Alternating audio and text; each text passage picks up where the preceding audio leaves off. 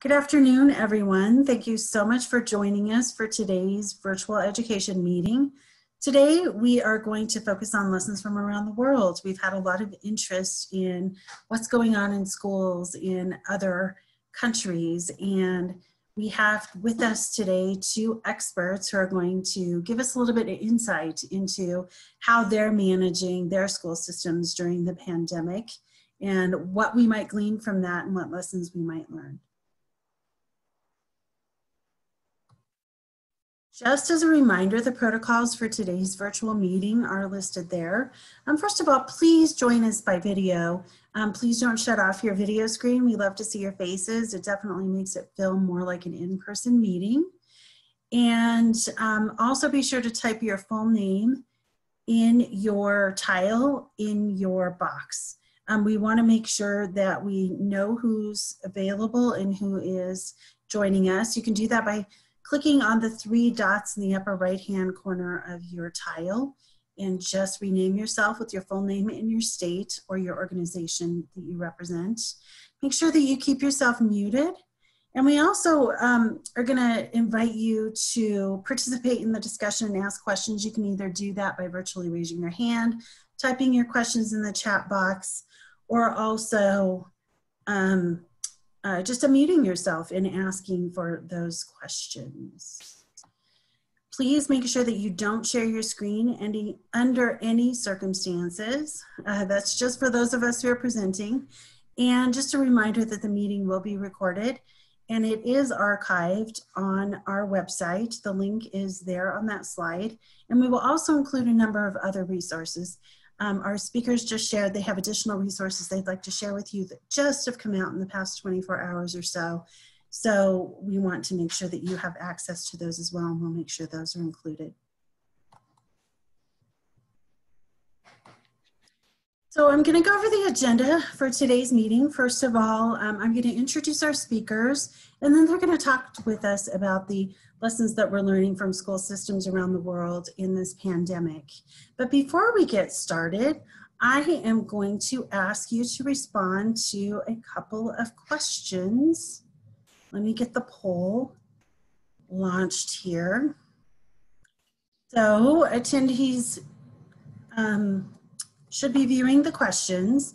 Um, the first one is how would you rate your level of understanding of what's happening in education in other countries during this pandemic one would be I have not read or heard much about this. Three is I've heard a bit, but not exactly sure how they are handling education. And five, I've heard and read quite a bit about this. And then the second question gives you an opportunity to indicate what are your most um, important areas of interest with regard to how other countries are addressing the pandemic. So I'm just going to give you just a few seconds to respond to the poll and then I will give you the results.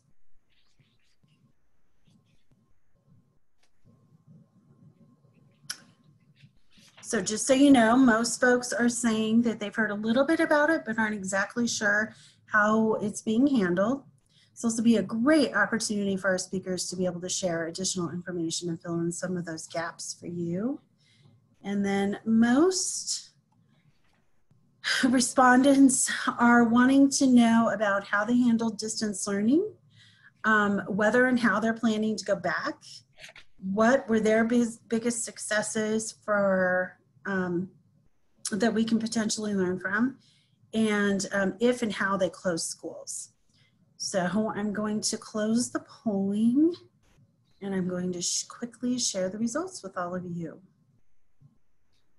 Just take you, give you a few seconds to take a look at those. All right.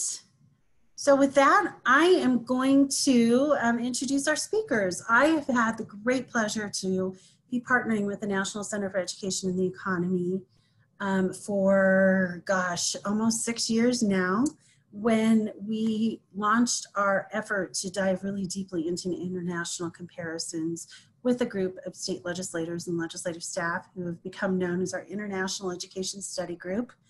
And we released our report, No Time to Lose, which we will also include as a resource as well for your reference, uh, where state legislators studied as much as they could, learned as much as they could from international experts, and concluded what they thought were the top four elements that they found, common elements that they found in the highest performing education systems, and how that might be translated for our work here in the US.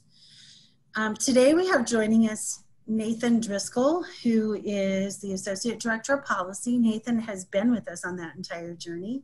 And we also have joining us Anthony Mackay, who is the CEO and President of NCEE.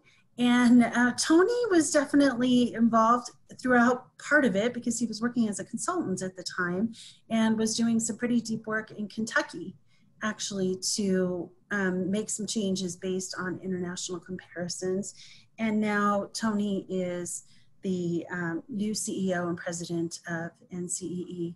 Tony is joining us from Australia and it's 5 a.m. there. So please be sure to thank him for getting up early and uh, sharing his time with us. So with that, Nathan, I'm going to stop sharing my screen so you can begin to share yours.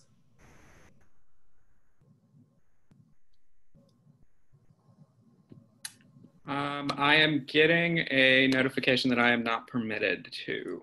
Uh, we had this happen last time too. Let me, if you guys want to go ahead and get started, let me work on this from my end. Okay, um, Tony, do you want to kick us off with a few remarks? I will indeed, and thank you, Michelle, very much. Um, hi, colleagues, great to be with you. Uh, and as Michelle said, uh, it's it's uh, early in the morning. It's not so much early in the morning. It's more that uh, Nathan and I uh, have just been involved in uh, the 10th uh, of the International Summits on the Teaching Profession.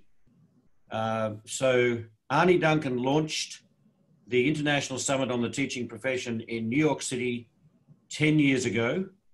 And uh, it came, Michelle, as a result of the then Secretary of Education attending an OECD activity in Paris where they sat around a room which is as big as a football field uh, with their own separate microphones, and they each had a particular time allocation for making a contribution, and he thought that it was uh, less than consistent with the principles of good learning.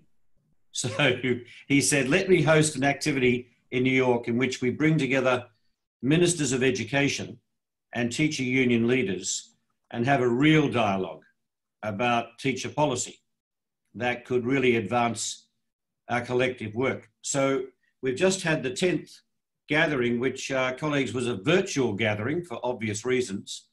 Um, and it involved uh, something of the order of uh, 20 jurisdictions, 20 countries, all of whom are OECD countries within the OECD. And um, we had a three hour seminar that uh, concluded about three hours ago. So, Michelle, uh, the question about uh, early in the morning is now something that I'm not clear about. I'm not absolutely convinced that I know what time of day it is. So, however, it does mean that uh, as we enter this conversation today, it is fresh from the conversation of ministers, uh, education union leaders, and many observers uh, from around the globe who are part of the OECD uh, country network. And so I'm going to bring you just a couple of messages from that very forum. And as you've said, uh, Michelle, we'll circulate a couple of documents that have just been released, two reports that go to the very heart of the focus of our attention today. But just before I do that, um, let me just say a, a quick word about the National Centre on Education and the Economy. As you pointed out, we are very close friends and colleagues and have been working together now for a number of years. And the poll that you've just taken indicates that whilst there is both a familiarization or at least some familiarity uh, with the international work that is going on, it's often, I think, through agencies like OECD, UNESCO, the United Nations, World Bank, whole range of other uh, connections that people will have uh, on this call. Obviously, legislatures uh, across the country have got their own networks and relationships uh, with other jurisdictions. And I know that people are obviously globally connected. We have been wanting to make sure that that connection is one that's been made systematic through our research and analysis over 30 years. So, what can we learn from high performing education systems uh, across the globe? And of course, as soon as I say that, the definition of high performing tends to, at the moment, be associated with uh, the PISA uh, results that we have every three years that are administered across OECD countries around uh, literacy and numeracy, science, and now a range of other innovative domains, uh, testing at the age of 15, which gives us a, a snapshot.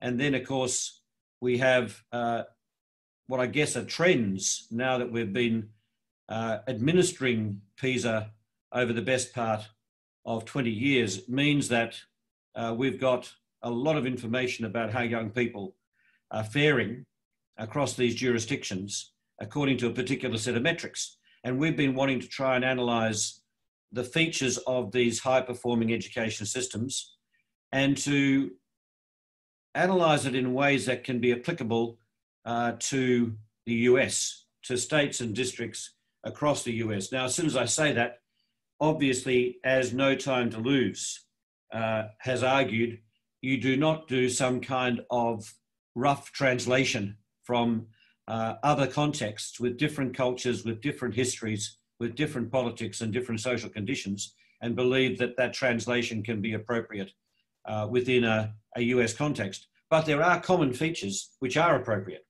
And of course, No Time to Lose was a report uh, that identified exactly those common elements and argued strongly for an approach to the way in which we tackle our own work here in the US to be a system oriented approach.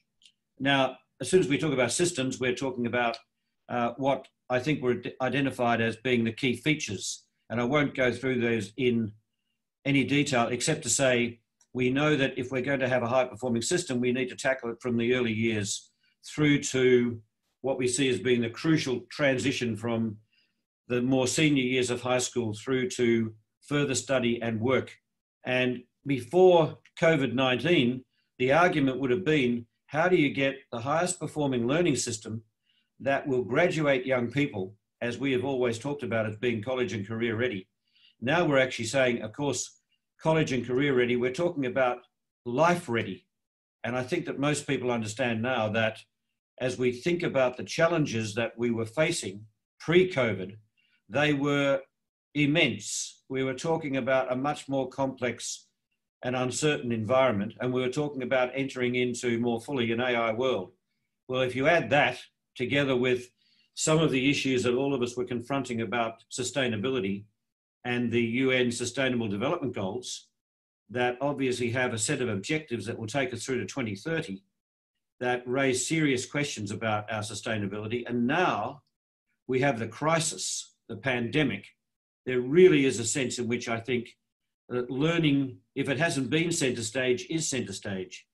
And if you think about all that we are confronting today, right here on our doorstep, across states, across cities, the level of disruption, the level of concern that we have for the fabric of our society, then it is going to be our learning system, to use that language, that will give us the strength and the courage and give us a way in which we believe we'll be able to make not only our own place here uh, sustainable, but obviously we want a sustainable planet just to lift the odds.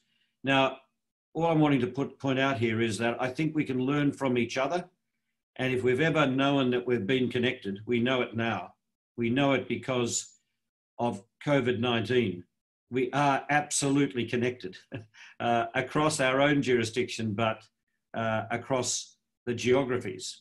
So we're hoping that the work that we've been doing with you and will continue to do uh, with NCSL will mean that we can design learning systems that will be more adequate and more fit for purpose. Obviously, we have um, two major objectives at the National Centre on Education and the Economy. And note, it does combine education and the economy. It is the future of learning and the future of work that all of us know is going to be so vital. One of the one of the uh, focus areas for us, of course, is how can we ensure that we use that knowledge to prepare leaders who can take forward this work at every level across the system. Uh, obviously, in classrooms, in schools, in districts, in states, and nationally. And so, a lot of our work uh, is in the area of uh, executive development, of how we can ensure that we have got leaders of learning that will really make sure that our systems are fit for purpose. The second, of course, is actually what we were doing with uh, you, Michelle, and all of those who joined us for the first cohort uh, of uh, the NCSL study, No Time to Lose. And that is about getting policies into place that we believe will really make a difference. I guess many people on this call will know that uh, we've been working in different states and districts in relation to both leadership and in relation to policy work. Maryland is probably the most recent and the most advanced in terms of applying all of the elements of what we see as high performing systems.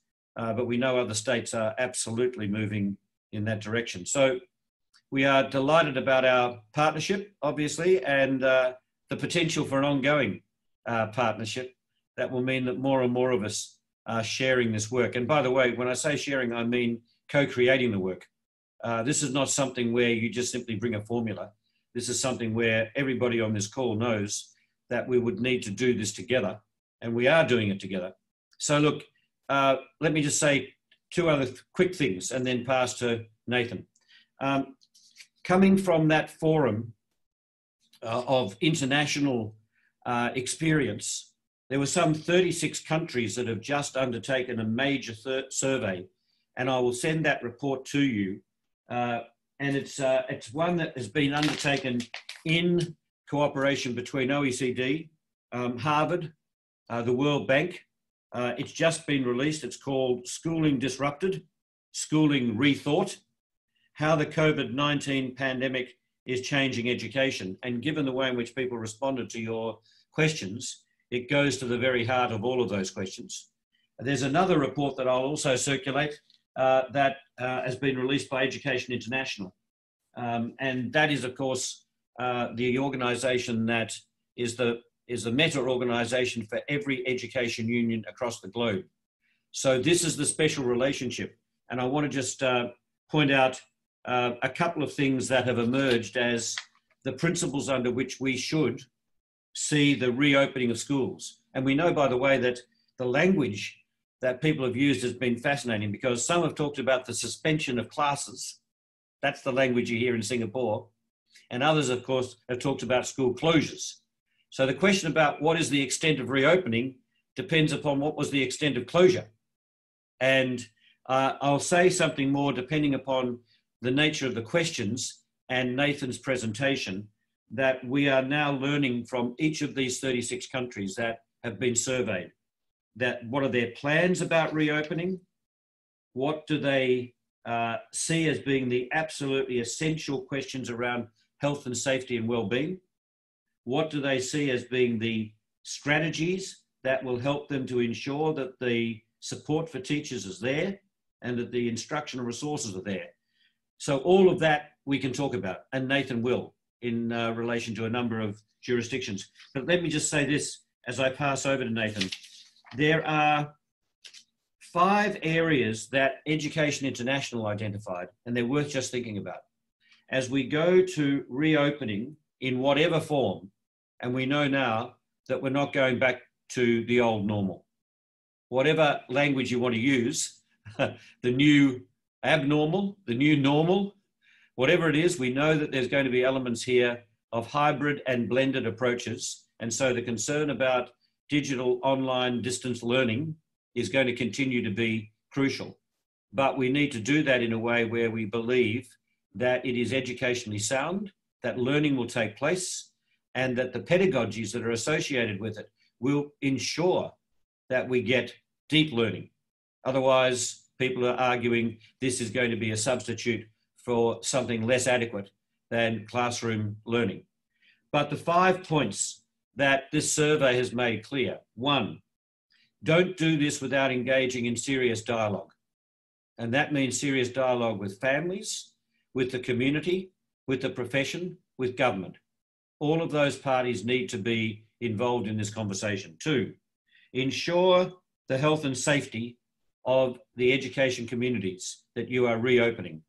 And on that score, we know that in fact the World Health Organization has identified six conditions. I'll circulate this as well, but you will have known them. I'm not going to spend too much time on them now, but obviously that everything from our absolute confidence that we have got the transmission of disease under control, that we've got health systems that detect, test, isolate, and treat every case and trace every contact, that hotspots are minimized, that schools and workplaces have established preventative measures, that the risk of importing new cases can be managed, and the communities are fully educated, engaged, and empowered.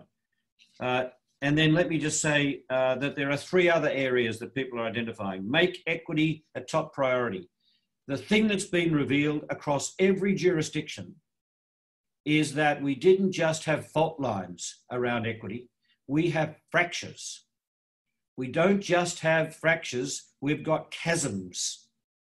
Let me give you one statistic that came from a survey that was done here in Australia just last week. We thought we have between 15 and 20% of young people at the age of 15 in categories of what we would regard as being vulnerable or at risk. We've identified 35 to 40%, double the number who are at risk. Now, that actually is the revelation that to some extent has been hidden. We've always understood that equity is the big game, but this COVID 19 has revealed that in ways that you simply cannot escape. And we know now what the consequences are of that continuing situation for our social and emotional, physical uh, well being, quite apart from economic prosperity. Fourth, support physical and emotional well being and recovery. And a quick word to say everybody's been preaching the gospel of social and emotional learning. It's been rhetoric. All of these countries are saying they have not been serious about that. Well, actually, I think the US has been serious about this. The intensity of work around social and emotional learning across districts and states in the last four or five years has been probably more intense uh, across the US than it has been many other geographies. But to make it clear that that's a precondition for the kind of cognitive learning that we want. The research is not out, the research is in. We know what the connections are. This is not something that's nice to have. It actually works with uh, academic learning in ways that actually lift the performance of young people and become stronger and, and obviously learners who are going to be committed to ongoing learning throughout their lives. And finally, trust the profession. If there's one thing that came out of the uh, three hours together with 20 jurisdictions from ministers and teacher union leaders, and this was coming from ministers, so secretaries of education, that they have been amazed and they shouldn't have been, but they have been amazed at the capacity of the profession to respond to this crisis. Maybe less amazed and more in the territory of we are absolutely clear about the role of the profession in leading this work. Of course, they need to be supported. Of course, we need to have policies that actually are the conditions for the work that is undertaken. But the profession has actually received the kind of recognition and the status that we have been arguing for for years. Now, that's not to say that we're there, but we do know that the partnership that needs to take place is actually now on display across the US, across states and districts, and across the globe. So, with that, I'm going to pass to Nathan. Thank you, Tony. Um, good afternoon, everyone. Um, as Michelle said, my name is Nathan Driskell. I worked closely with both Tony and Michelle for many years now. Um, and it is my team's responsibility to take the lessons learned um, that we that we are figuring out from all of these high performing systems around the world and translate them for state policymakers in the United States um, to enable them to make policies um, that would allow them to match the best, um, the most excellent, um, equitable, and efficient systems in the world. So um, today, I really want to talk to you about the questions that have been bugging me since um, our uh, workplaces um, and our social spaces shut down about three months ago, um, after taking the tr transition to full-time distance work, um, taking stock of all of that, our team really came together and asked ourselves how we could be helpful um, in helping policymakers um, really uh, make connections around the globe and learn from what other systems are doing to confront this crisis. And we asked ourselves three questions, and I think there are three questions that are relevant for this group today. Um, first, uh, how many of the high performing systems closed? How did they handle that? Um, and then why and how did they decide to reopen? What were the conditions they used and what were the, the best practices that they used? Um, but in asking that question, what we really were faced with the realization of was that, um, as Tony said, distance learning um, is not going to go anywhere long term forever. Um, mandates around social distancing are going to ensure that students are going to be learning from home in some circumstances into the fall. Um, and we really needed to do a lot of not just just in time work, but also work over the course of the next year to help school systems be prepared for what that looked like. So um, we asked ourselves, have other countries been more successful in transitioning to distance learning, specifically the high performing systems that NCE focuses on? Um, and we found out um, through a range of metrics that I'll talk about that the answer was yes. Um, and given that the answer is yes, what features enabled them to be better prepared? Um, and then third, um, what in what ways are high performing systems taking stock of um, education for the future in the midst of this pandemic? Um, one of the mantras that we really started hearing as we were working with systems around the globe was, um, as tough as this is, please never waste the opportunity of a good crisis. Um, and there are, I would not say that there are lessons learned because no one knows the answers yet, um, but there are emerging principles for what education can look like in the future that this pandemic has begun to show us. Um, so uh, in terms of flow, I'm gonna take the first two of these topics um, and then just to maybe break it up for a little bit so I don't talk at you for too long, I might ask Michelle to come in and let me know if there are any burning questions on the table and then return to the third. Um, so first question, um, why reopen and how?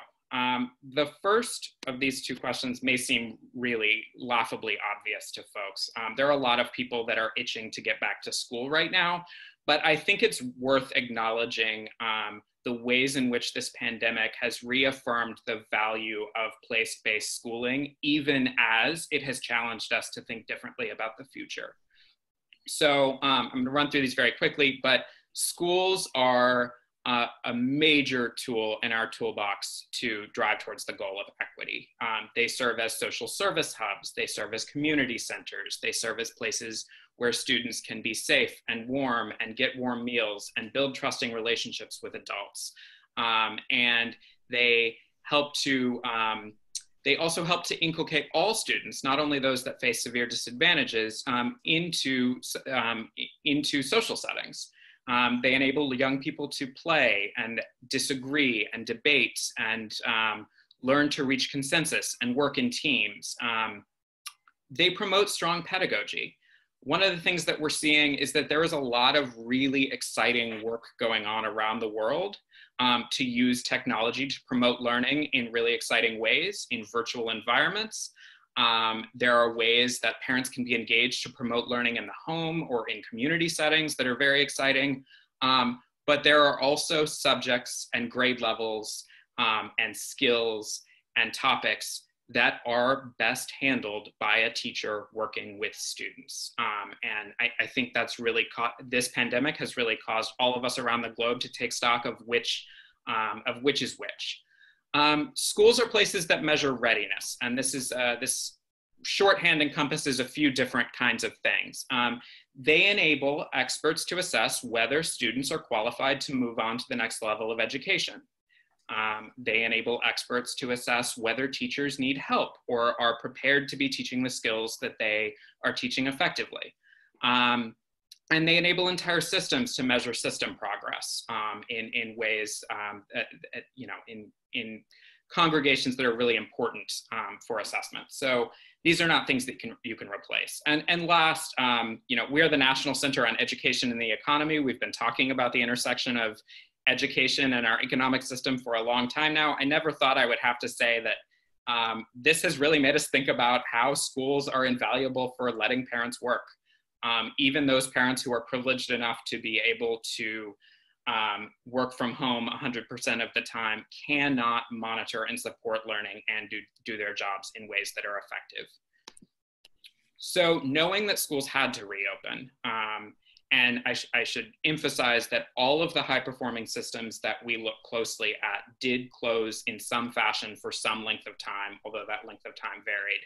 Um, what are the promising practices that we're seeing to enable them to reopen safely? And, and, and these are more general principles, I suppose. But all systems have been prioritizing certain groups of students um, and enabling them to go back into the classroom first. Which student groups those are varies a little bit depending on the jurisdiction, um, but they include students that are most disadvantaged, which could mean low income students, migrant students, um, second language learners, um, or students who teachers have identified as not being as being quote unquote hard to reach, uh, which is a term I, I, don't think we love, but um, but students who have not been attending virtual learning sessions. They've also been prioritizing students with specific needs that may be less obvious to those of us on this webinar. Um, uh, many have prioritized uh, career technical education students because they recognize that certifying skills in the workplace actually requires a form of work-based learning to go to. Um, others have prioritized or, uh, students in early childhood settings um, or students who are at key transition points. So um, students who need to pass graduation exams in order to qualify for attendance to university um, will go back sooner than others. Um, systems are pairing that form of prioritization of learning for certain student groups with creative scheduling. So almost all are having either students go, one group of students go in the morning and one go in the afternoon, or students um, alternate Tuesdays, Thursdays, um, Mondays, Wednesdays. Um, that's true across all systems. And many systems are looking at new uses of space um, and out of classroom learning. Sometimes that means virtual, um, sometimes that means thinking creatively about what forms, uh, or what subjects is a form of pedagogy that uses a large scale lecture hall um, actually appropriate for high school students. There may be some cases where that is appropriate and we can use that. Some are partnering with communities, um, community spaces to hold schools um, in those spaces. But the headline here and the implication of these three promising practices is really that distance learning, we know, is going to continue for some group of students into the fall and probably throughout the next year. Um, and we know that not just because many students will be alternating days, um, but also because the reality of the pandemic means that there will be schools um, that have cases that need to have students isolate. Um, there will be spikes. Um, and so there will be a need to think really creatively across the summer about how we can better prepare US teachers um, to use technology to promote distance learning. Um, so that led our team to ask ourselves, um, what are the features of high quality distance learning systems around the world that enable them to be high quality um, that US policymakers could learn from? Um, first, um, and this is probably the most familiar to a US audience, um, is that all of these systems have hubs for learning materials and data platforms to enable them to track student data. What does distinguish these systems is that those hubs are centralized. Um, so they follow students over the course of their career. They're managed by one agency. They're not managed by individual schools or school districts. Um, these systems um, all have common curriculum frameworks with clear learning goals. Um, and anyone who has read the No Time to Lose report, or if we have any participants from the study group on this call, um, will be very familiar with this concept. Um, what's key is that those learning goals enable every teacher to have a shared understanding of, of where their students should be going, but they also suggest very specific activities for every learning goal um, for every class, um, and those activities can be online and offline. Um, these frameworks are not written to a level of specificity that teachers are required to use one set of materials, but they do provide teachers with a toolkit. Um, and a very clear indicator of what is appropriate to, um, where it is appropriate to use online tools, what online tools the system experts have determined are best, and which are less effective. Um, related to that, they have very clear standards for curating the digital learning materials, whether that's worksheets or something as advanced as simulated science experiments online. Um, teachers know what learning materials they can use um, that has been determined to be directly linked to their curriculum frameworks and be of high quality to meet a specific target. Um, they are not navigating a marketplace of thousands of tools with no clear objective. And when you take these three bullets um, together, um, there's a sort of meta theme that emerges from them, which is that in the highest performing education systems, teachers were forced to transition to um, full-time use of materials that they had previously been using some of the time. And they were selecting those materials that they knew were best for a distance learning environment. Um, what they were not doing was doing what they would normally do in an in-person classroom setting anyway and moving it directly onto Zoom. Um, because people know that that doesn't necessarily promote um, quality pedagogy. Um, a related policy um, policy to that is that all of these systems have existing structures and time for distance learning that have already been built into place. So um, in, in some jurisdictions, they call them disaster preparedness days, which is a bit of a funny term to us, but the, um, in others, it's just um, work from home days for kids. But the headline is that for about two to four days per year, every year in these systems, kids have already been going home to work on a self-directed project online with their peers, getting feedback from their teachers, and they're used to that as a form of pedagogy. Um, a related point to that is that there is extensive support for teachers in teaching with technology in these systems. Some of that is training. And some of that has been just in time training for teachers um, because even in the highest performing systems, there was no teacher who was 100% prepared to move to distance learning 100% of the time. This has been hard all around the world, and I don't want to imply that it hasn't been. But teachers, once they began working from home, found that they had access to um, digital hubs curated by their peers training materials, um, mentorship from teachers who had been specially designated as experts in various forms of distance learning pedagogies who they could rely on, um, have Zoom meetings with, collaborate with, and they were given the time to do so. Um, the last point is a possibly very broad and nebulous point to end on um, that in some ways is very rooted in culture, but all of the systems that we work with um, have a deep societal trust in technological infrastructure that underpins their systems. In some cases, that's a function of history. Um, some of you may know we work closely with Estonia, that has been a digital hub for decades, um, and they build every aspect of their society around it. Um, but in other cases, that's really a function of policy and it, it's important. Um, there are very clear standards for how and why student data is used in these systems and parents and teachers and community members understand those standards, um, as do vendors.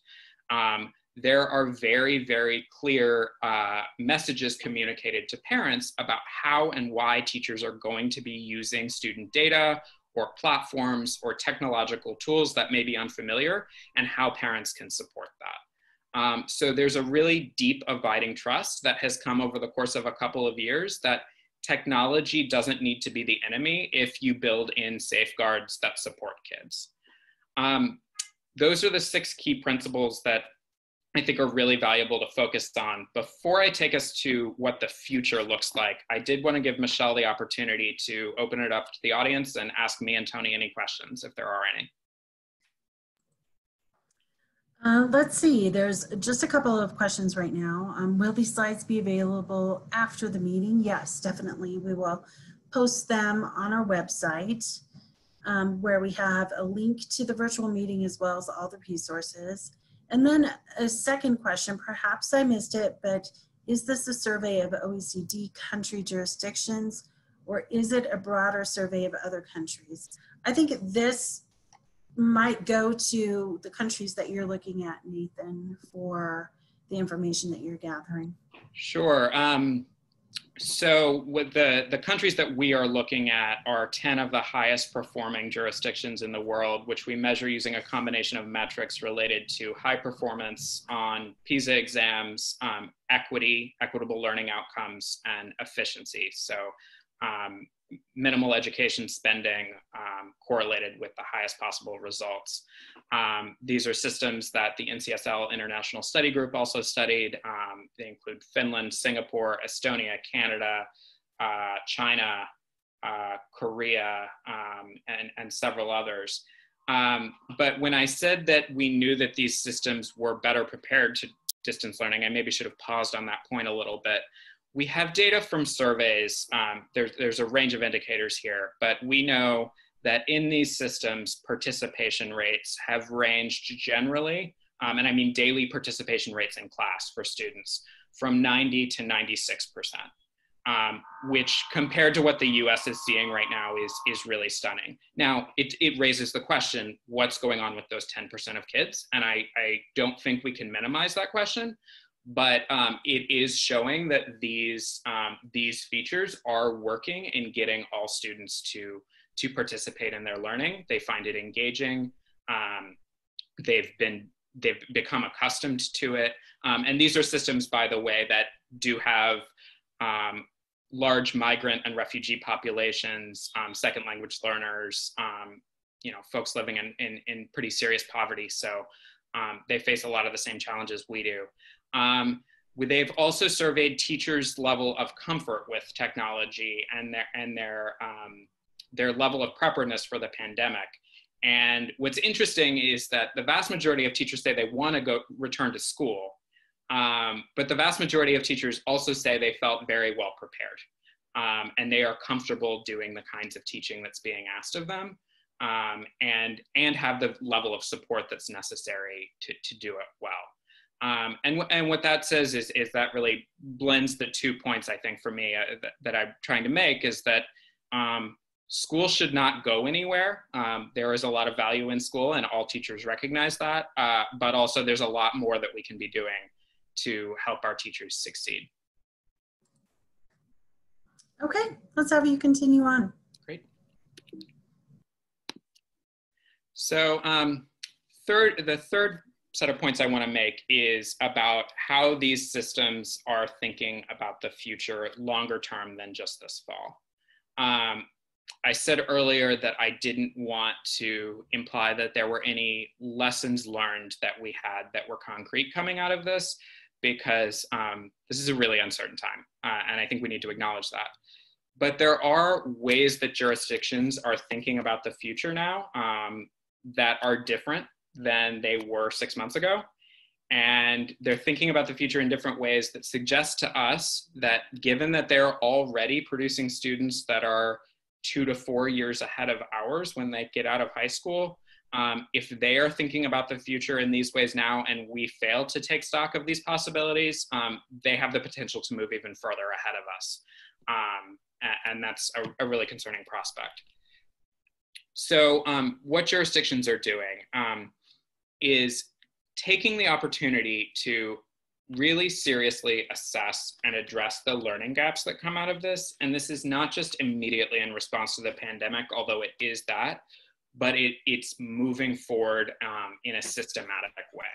So, um, you know, as Tony really emphasized, and I think is incredibly important, this pandemic has exposed all kinds of inequities that were all, always there. Um, it has also exacerbated those inequities for um, the students that don't have access to broadband technologies um, or home environments in which they can reliably log on. Um, other jurisdictions have already built in plans for how they are going to assess the learning gaps that came up over those three months, um, what they're going to do about them, um, and then how they're going to build that ongoing assessment and feedback mechanism into their systems moving forward. So they're seeing this as a real opportunity to take stock of their equity challenges in a concrete way. Um, another direction for the future is to um, build virtual learning spaces that are pedagogically appropriate. Um, some of you may be familiar with some uh, really exciting technologies that are out there um, in the augmented reality space or the virtual reality space. Um, what is thrilling about that marketplace is that it enables students to see the world in ways um, that in-person teaching just would not make possible. Um, it, it, you know, it for augmented reality in particular, it is not possible for a science teacher to do some of the things that they can do now in terms of helping students to see cellular structures or um, the insides, uh, you know, underneath lakes or ecosystems that they could never feasibly travel to. Um, but what's disappointing about this marketplace, I think, is is that it is a really in the U.S. and and to some a lesser extent globally an incoherent marketplace.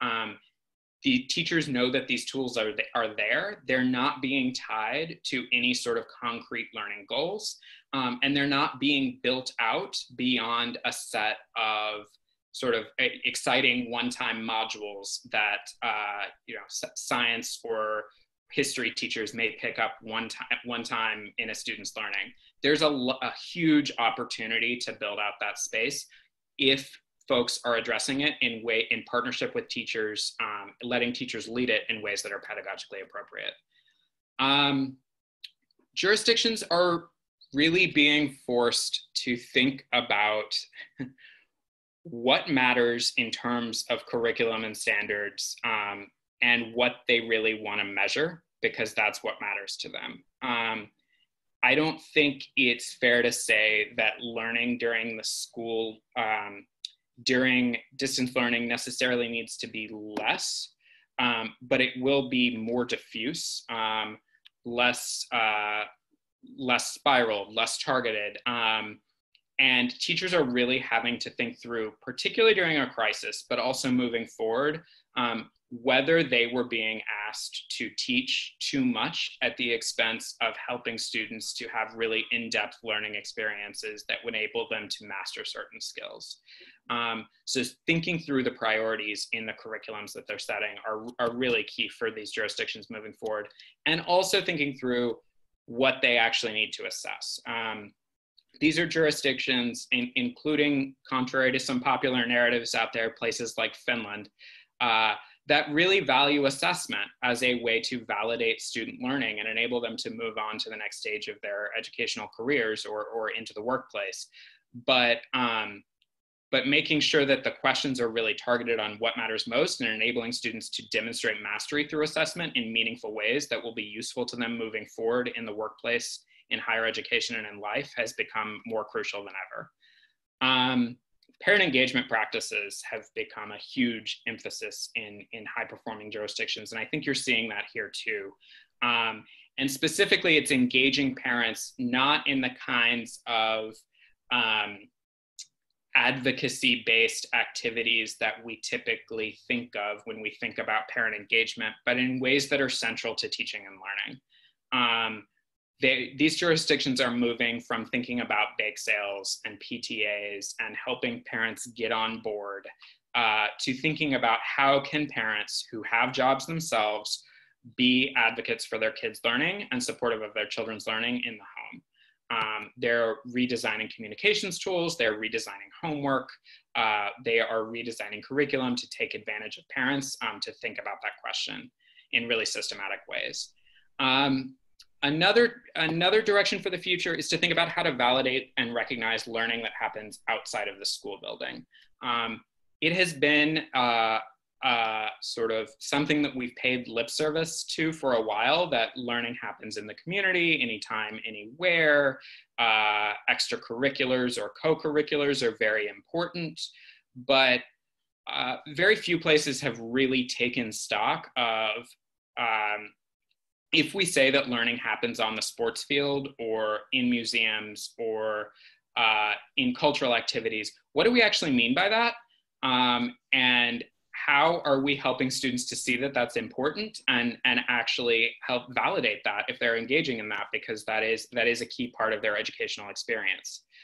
Um, jurisdictions are paying more than lip service to broader metacog- metacognitive skills. Um, this connects in, in some ways to tony's uh, point about social emotional learning um, but is is also about helping students to be much more self-directed to think about how to make themselves more effective learners, um, to uh, be able to get a long term project, um, identify what it is they need to do it that they don't know, and go out and learn that for themselves.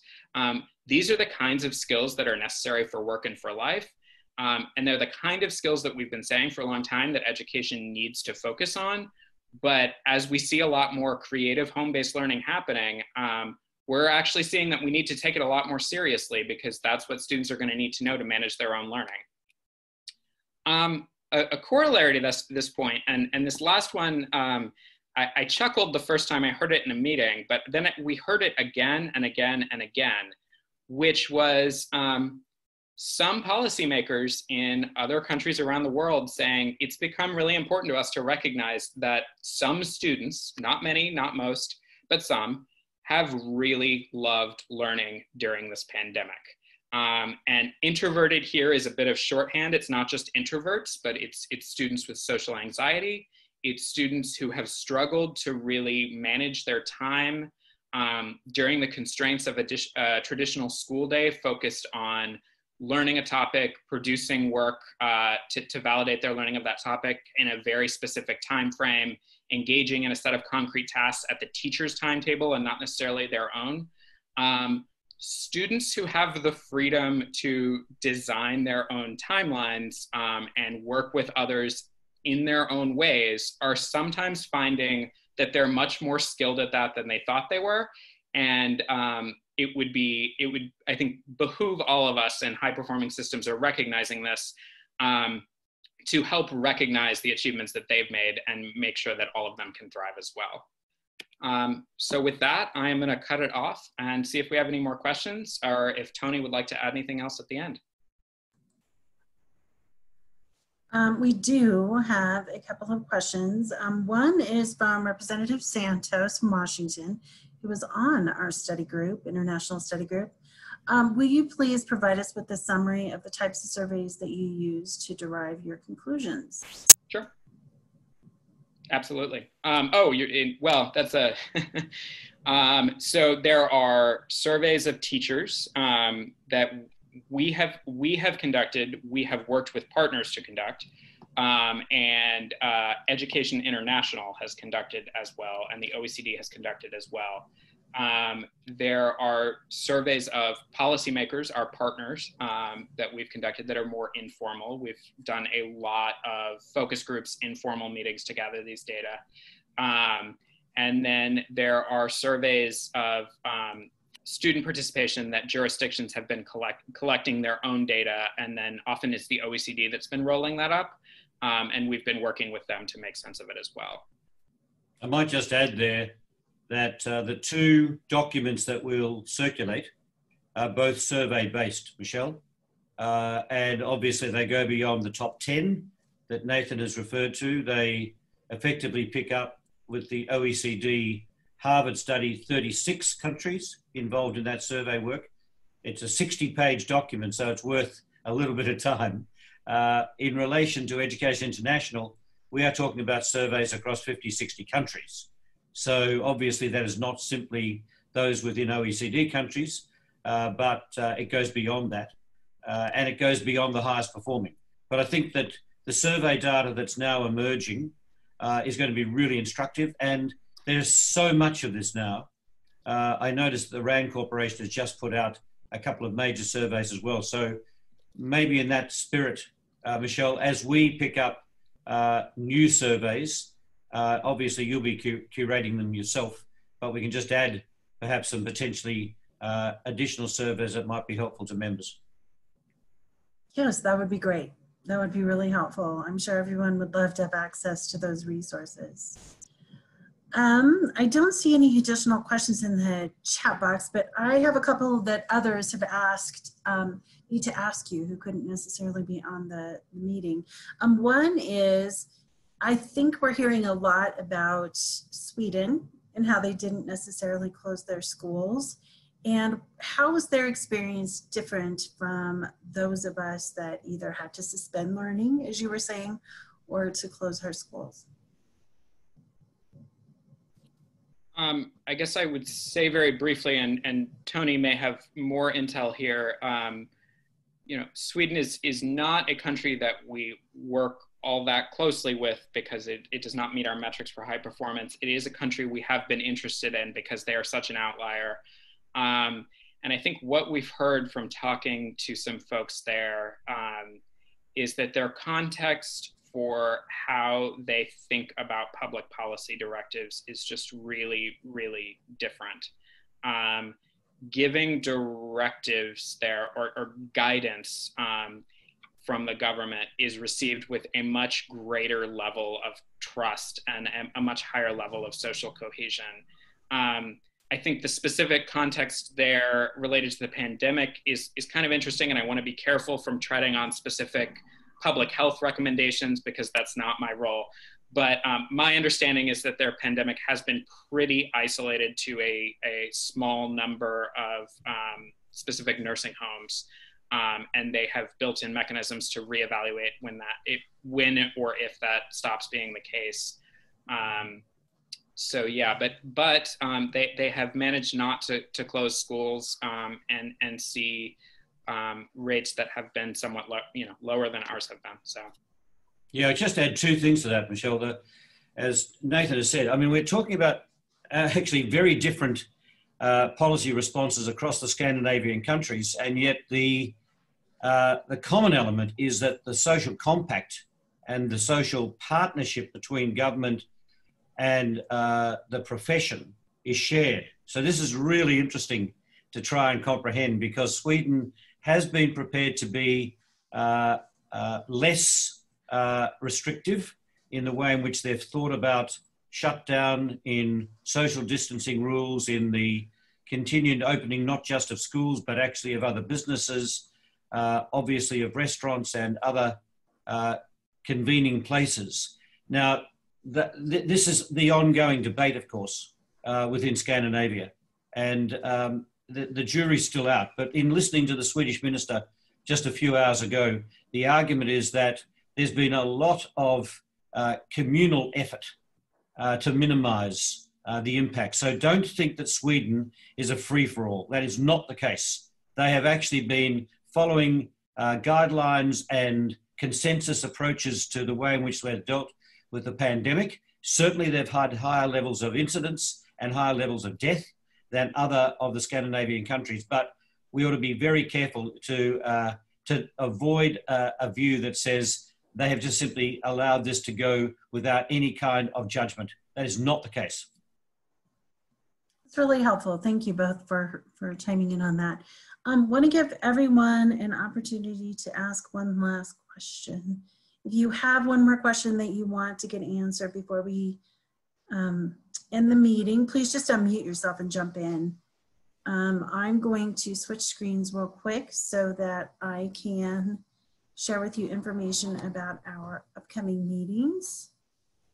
And Michelle, just can I just say one word as you do that?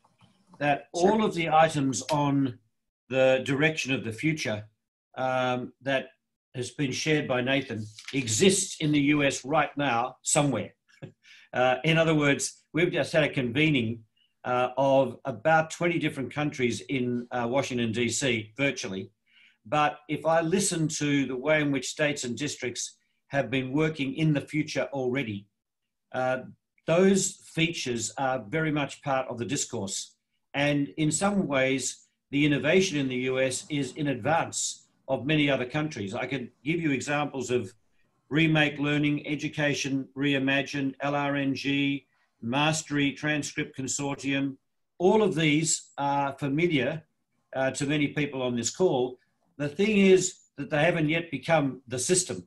And I think what Nathan was talking about is here's a set of directions that you need to think about as you redesign your system, not simply as uh, innovations, right? They need to then become quite serious design features if we're going to be able to address the problems that actually have been brought into stark relief through the pandemic. Always such an important reminder that so much of what we hear about is successful in other countries is potentially happening right here. We just haven't um, either identified it as being um, as effective as it potentially could be, or we haven't brought it to scale. So thank you. I appreciate that point, Tony. Um, well, thank you both for sharing your time with us. This was, um, as always, so fascinating to hear what's happening in other countries.